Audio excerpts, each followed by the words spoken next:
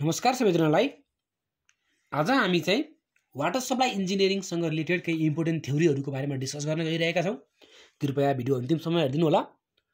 हजुरले water सप्लाईको exam दिन जा गइरहनु भएको छ र यो क्वेसनहरू पढ्नु भएको छैन भने चाहिँ अब मार्क्स चाहिँ कम होइन कि फेल पनि हुन सकिन्छ। मैले चाहिँ इम्पोर्टेन्ट थ्योरीहरू के के हो त लेसन वाइज इम्पोर्टेन्ट थ्योरीहरू इक्जाममा रेगुलर रिपिट हुने क्वेसनहरू मात्रै लिएर लिएर आएको छु।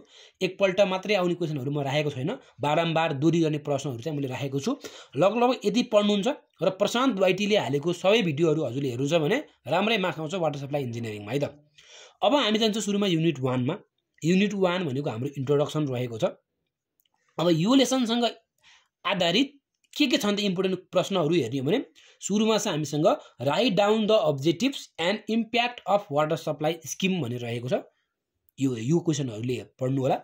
Typical systematic diagram of rural and urban water supply system rural urban रुलरमा र अर्बनमा चाहिँ जुन वाटर सप्लाई स्किममा के के हुन्छ त? सोर्सहरू हुन्छ इन्टेक हुन्छ कुनैमा ब्रेक प्रेसर ट्याङ्क चाहिएला कुनैमा नचाहिएला कुनैमा के गरे? ट्रिटमेन्ट प्लान चाहिएला कुनैमा ट्रिटमेन्ट प्लान नचाहिएला होइन? के के हुन्छ? ट्रान्समिसन मेनहरू यताउति के के छ? त्यो मैले हालेको छु थ्योरीमा त्यो हेर्नु होला। Define portable water portable water भनेको कस्तो खाले वाटर हो? होलसम वाटर भनेको कस्तो खाले वाटर हो? र चाहिँ कन्टामिनेटेड वाटर भनेको कस्तो खाले वाटर हो? हो यसको बारेमाहरू थ्योरी पनि इक्जाममा आइरहेको छ। दुई मार्क्समा गरेर दुई दुईवटा गरेर चार मार्क्समा पनि सोध्न सक्छ इक्जाममा चाहिँ है? Define portable water and wholesome water and write down the objective write down the objective of water supply scheme भनेर आठ मार्क्समा सोध्न सक्छ। इक्जाम हो जसरी पनि सोध्न सक्छ त्यही भएर प्रिपेयर चाहिँ आफू हुनु पऱ्यो है युनिट वानबाट यही नै हो। अब हामी जान्छौँ युनिट टू युनिट टूमा हेर्छौँ भने वाटर सोर्स अथवा सोर्स अफ वाटर भनौँ। वाटर सोर्ससँग रिलेटेड थ्योरीहरू हामीले हेर्ने हो भने explain surface and ground ground source of water surface source र ग्राउन्ड सोर्सको बारेमा हजुरले एक्सप्लेन गर्नुपर्ने हुन्छ। थाहा छ होला सर्फेस सोर्सहरू के के छन् भनेर ग्राउन्ड सोर्सहरू के के छन् भनेर है त? यसै गरी हेर्ने हो भने different between surface source and ground source भनेर पनि इक्जाममा सोधिरहेको छ। सर्फेस सोर्सलाई र ग्राउन्ड सोर्सलाई चाहिँ हजुरले डिफ्रेन्ट बिट्विन गर्नु पऱ्यो के के छ के के छैन भनेर। अब युनिट टूसँग आधारित एउटा हिसाब इक्जाममा सोधिरहेको हुन्छ कहिलेकाहीँ। Numerical related to capacity of impounded reservoir int impounded रिजर्भरको क्यापेसिटी नि क्यापेसिटी कति हो त? त्यो क्यापेसिटी डिजाइन गर्नु भनेर चाहिँ इक्जाममा चाहिँ सोधिरहेको छ। त्यो पनि हिसाब हेर्नु होला युट्युबमा छँदैछ। Criteria of selection of source of water वाटरको source select गर्नको लागि चाहिने क्यारेटे क्राइटेरिया के के हो? क्वालिटी कस्तो छ? क्वान्टिटी कस्तो छ? कस्ट कति लाग्छ? यताउतिको बारेमा छ। त्यो पनि थ्योरीमै छँदैछ युट्युबमै अब युनिट थ्रीमा जाउँ। अब युनिट थ्रीमा हेर्ने हो भने वाटर सप्लाई क्वान्टिटी रहेको छ। है लेसनको नाम वाटर सप्लाई क्वान्टिटी रहेको छ भने एमा हेर्ने हो भने क्वान्टिटी भनेको डिमान्डसँग रिलेटेड इक्जाममा सोध्दैला explain various types of water demand भन्दैला। Domestic demand fire fighting demand अथवा डोमेस्टिक डिमान्ड भइगयो अथवा हाम्रो के हुन्छ अर्को? डोमेस्टिक भयो फायर फाइटिङ भयो अब गाईबस्तुहरूको लागि ठ्याक्कै नामै फ्याट्ट बिर्सिहालेँ कि मैले फेरि। अरू के के हुन्छ? कमर्सियल डिमान्ड हुन्छ इन्डस्ट्रियल डिमान्ड हुन्छ लसहरूको बारेमा यताउति हुन्छ होइन र? भइगयो।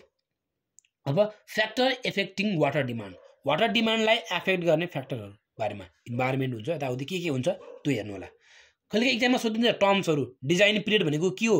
सर्वे इयर भनेको के हो? बेस पिरियड भनेको के हो? बेस इयर भनेको के हो? भनेर कहिलेकाहीँ सोधिदिन सक्छ। दुई मार्क्समा एक मार्क्समा। यो पनि हजुरले हेर्नु पऱ्यो अब यही लेसनसँग आधारित हिसाब पनि इक्जाममा सोधिरहेको छ। एउटा चाहिँ population फोरकास्टिङसँग related geometrical method arithmetic method incremental increase method यो मेथडहरूको बारेमा चाहिँ इक्जाममा हिसाबहरू चाहिँ सोधिरहेको हुन्छ। हजुरले क्वेसन ब्याङ्क पल्टाएर हेर्नुभयो भने पनि आइरहेको हुन्छ। यस दस बाह्र सालको द दस वर्षको हजुरले हेर्नुभयो भने आठ वर्षसम्म आइरहेको हुन्छ यो हिसाब चाहिँ। अब अर्को हिसाब के छ भन्दाखेरि numerical related to demand calculation domestic demand निकाल्ने है? त्यसै गरी लाइभ स्टक डिमान्ड के? अघि भन्न बिर्सेछु। लाइभ स्टक डिमान्ड निकाल्ने अनि के अरे फायर फाइटिङ डिमान्ड निकाल्ने डिमान्डसँग रिलेटेड हिसाबहरू इक्जाममा आइरहेको छ। त्यो पनि गर्नु होला। है अब डिमान्डमा पनि अब चाहे थाहा हुनु पऱ्यो डा डाटाहरू याद हुनु पऱ्यो होइन? अब डोमेस्टिक डिमान्डमा पनि रुरलमा बस्नेलाई कति अर्बनमा बस्नेलाई कति होइन? अब इन्स्टिट्युसनल डिमान्ड हेऱ्यो भने स्कुल पढ्नेलाई कति बोर्डर्स बस्नेलाई कति डे स्कलर्सलाई कति त्यो पनि रुरल भयो भने कति अर्बान भयो भने कति त्यो हजुरले चाहिँ डाटाहरू चाहिँ कन्ठा पार्नुपर्ने हुन्छ। अब वाटर क्वालिटी युनिट फोर रहेको छ वाटर क्वालिटी वाटर क्वालिटीसँग रिलेटेड थ्योरीहरू हेऱ्यो भने explain impurities present in the water वाटरमा भएका इम्प्युरिटिजको बारेमा एक्सप्लेन गर्नु भन्छ। के भन्दाखेरि एउटा चाहिँ बेस्ड अन क्यारेक्टरिस्टिक छ अर्को बेस्ड अन स्टेट छ। यसको पनि तिनवटा पोइन्ट होला यसको पनि तिनवटा होला। यसलाई चाहिँ हजुरले एक्सप्लेन गर्नुपर्ने हुन्छ। युट्युबमा छ थ्योरी हेर्नु होला यसै गरी हेर्ने हो भने अर्को भनेको explain the living organism present in water वाटरमा present हुने लिभिङ अर्गानिजमको बारेमा पनि लेख्नु भनेको छ एलगी भाइरसहरू फङ्गाईहरू के के हुन्छ त्यसको बारेमा हजुरले लेख्नुपर्ने हुन्छ। Explain water related disease water related डिजिजको बारेमा लेख्नु भने water based disease water borne disease water vector disease water wash disease यो चारवटाको बारेमा हजुरले एक्सप्लेन गर्नुपर्ने हुन्छ। र numerical related to hardness of water वाटरको hardness जुन हुन्छ नि total hardness carbonate hardness non carbonate hardness यो निकाल्नेहरू। अब हार्डनेस पनि के केले गर्दाखेरि आउँछ होइन? टोटल हार्डनेस के केले गर्दाखेरि आउँछ? यताउति बारेमा हजुरले हेर्नु होला। अब युनिट फाइभ युनिट फाइभमा हेर्ने भने इन्टेक वर्क रहेको छ। अब यो इन्टेक वर्कसँग रिलेटेड थ्योरी हेऱ्यो भने explain the side selection of intake सबैभन्दा महत्त्वपूर्ण यो लेसनको सबैभन्दा महत्त्वपूर्ण थ्योरी भनेको यही नै हो। अनि classification of intake river intake र स्प्रिङ इन्टेकको बारेमा चाहिँ लेख्नु भनेर इक्जाममा पनि सोधिरहेको हुन्छ है? अब युनिट सिक्स सबैभन्दा ठुलो वेटेज भएको युनिट भनेको युनिट सिक्स हो है? यो युनिटबाट इक्जाममा चौबिसदेखि बत्तिस मार्क्ससम्मको इक्जाममा सोधिरहेको छ। चौबिसदेखि बत्तिस मार्क्ससम्मको अथवा यही रेन्जमा चाहिँ इक्जाममा सोधिरहेको छ। क्वेसन ब्याङ्क पल्टाएर हेर्नुभयो भने क्लियर हुन्छ। अब एमा आएर हेर्ने हो भने थ्योरीहरूलाई हेर्ने हो भने define objective and process of water treatment objective के हो यसको? प्रोसेस भनेको सिरियल वाइज लेख्नु पऱ्यो प्रोसेसमा चाहिँ। दायाँ बायाँ यताउति लेख्नु भएन। सुरुमा स्क्रिनिङ स्क्रिनिङ पछि प्लेन सेडिमेन्टेसन त्यसपछि सेडिमेन्टेसन विथ कोकागुलेसन यसै गरी हजुर चाहिँ केहरू सिरियल्ली वाइज आउनु पऱ्यो युट्युबमा छ थ्योरी थ्योरीको बारेमा पनि।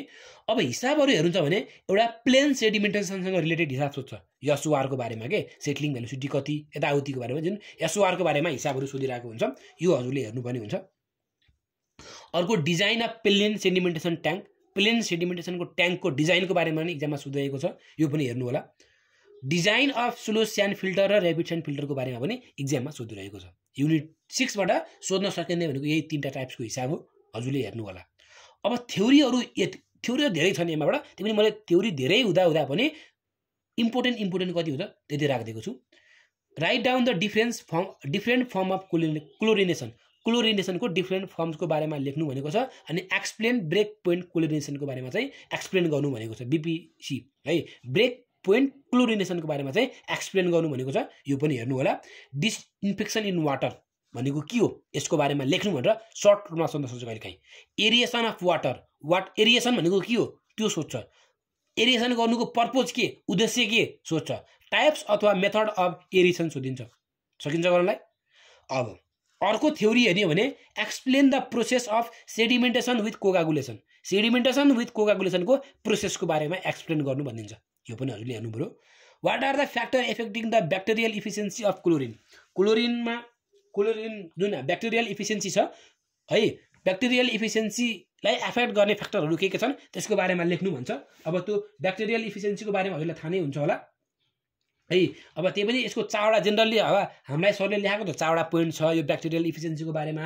एउटा भनेको टर्बिडिटी अब वाटरको टर्बिडिटी कस्तो छ? त्यसको आधार पनि क्लोरिन कति हाल्ने डिटरमाइन हुन्छ।